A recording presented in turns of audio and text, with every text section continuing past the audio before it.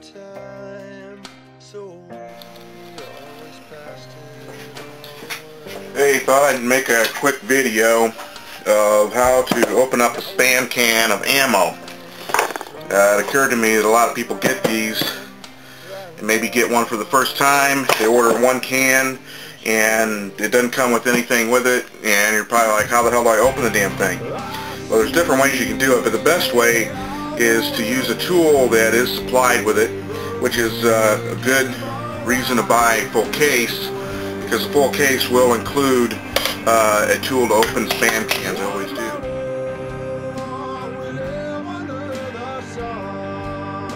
Okay.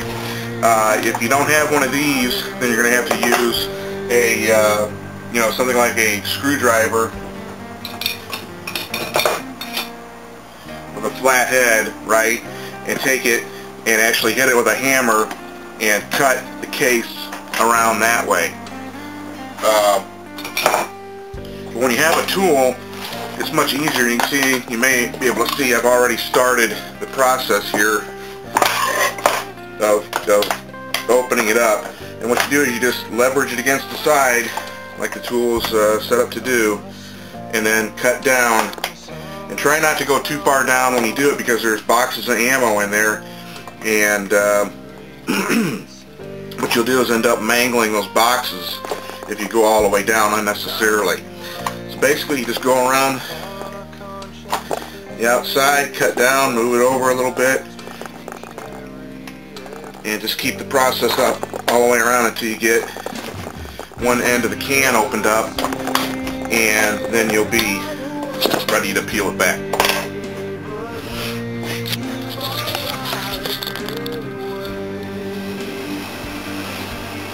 Okay, I've uh, pretty much gotten to the point where I've gotten around and cut all the way around the edge.